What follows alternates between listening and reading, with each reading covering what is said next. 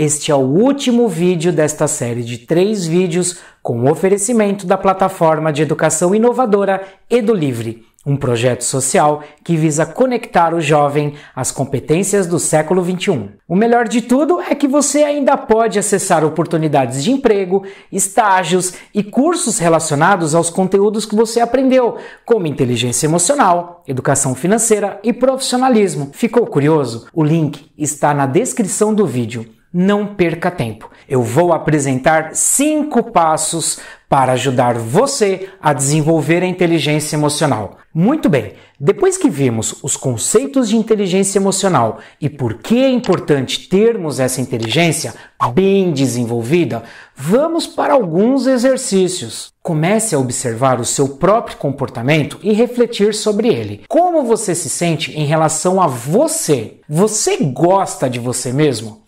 Vou te contar uma coisa. Como você deve saber, eu sou professor. Se não sabe, já se inscreve aqui no canal. Enquanto professor, eu amo a minha profissão.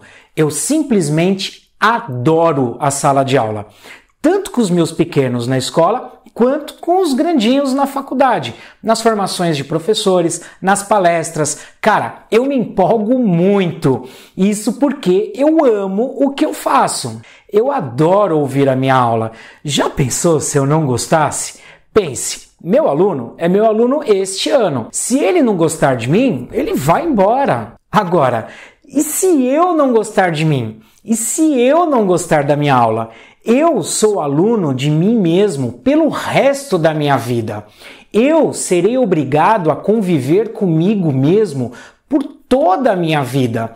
Primeiro, eu tenho que gostar de mim, eu tenho que me sentir bem comigo mesmo. Assim, isso vai trazer benefícios única e exclusivamente para mim mesmo. Essa é a primeira lição: se conhecer e se aceitar enquanto uma boa pessoa. Segundo, outro exercício muito interessante é encontrar diferentes maneiras de dominar as suas emoções. Exercícios de controle da respiração também podem ajudar. Ter o autocontrole sobre as suas ações e os seus sentimentos não é fácil. Eu sei, às vezes dá vontade de virar o Hulk. Dá.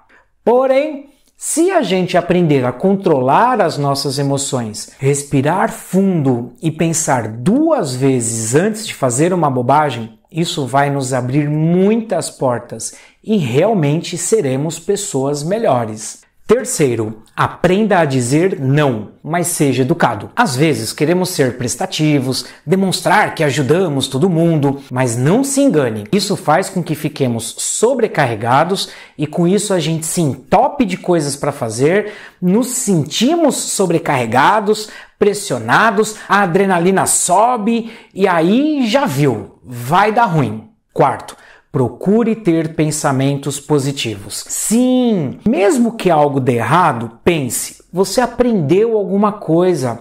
Aceite aprender com os nossos erros e com os erros dos outros. Isso só nos faz crescer. Se você acordar já achando que vai dar tudo errado, acredite, vai dar errado. Procure extrair o que tem de melhor nas coisas.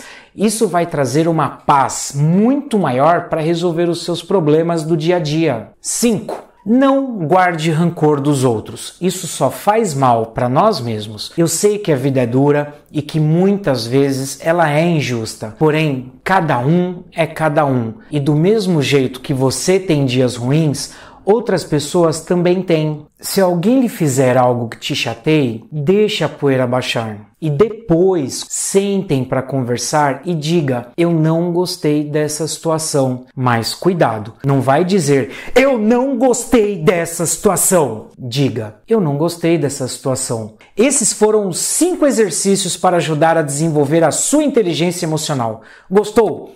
Foi útil? Você tem outra sugestão para que possamos desenvolver nossa inteligência emocional? Quem sabe depois eu gravo outros vídeos sobre este assunto. Eu gostaria muito de agradecer o Kaique, do canal Creator Sem Fronteira, o Educação Livre, através deste concurso Edu Livre, e a minha parceira Roberta Fliegel, que me ajudou muito com os roteiros. Foram momentos sensacionais de grandes aprendizagens e eu creio que eu vou continuar aprendendo muito com o seu comentário. Um forte abraço abraço e até o próximo.